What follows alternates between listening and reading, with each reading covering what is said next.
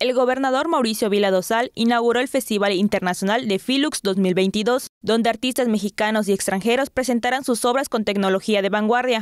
Por primera vez, el festival incluirá a Tecash y Valladolid luego de una pausa de dos años por la pandemia. Obras que llaman la atención son la pieza Museo of the Moon, una luna que mide 9 metros de diámetro del artista del Reino Unido Luke Hiram, con impresión 3D del satélite, que se puede admirar en Palacio de Gobierno. Es una experiencia para que las familias, los amigos, todos podamos estar en el espacio público convocados por el arte, convocados por la luz, pero también disfrutando de la ciudad y de ver pequeños rincones y pequeños detalles que de otras maneras no lo veríamos. El Filux 2022 es reflejo de la descentralización del arte y la cultura. El espectáculo se podrá disfrutar en Mérida hasta el domingo, en Valladolid del 1 al 4 de diciembre y en Tecash del 8 al 10 de diciembre, de 6 de la tarde hasta las 12 de la noche.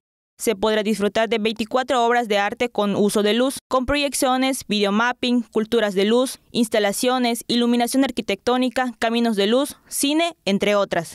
Con imágenes de Jorge Quimé y el reporte de Álvaro Martínez, Teleyucatán te informa.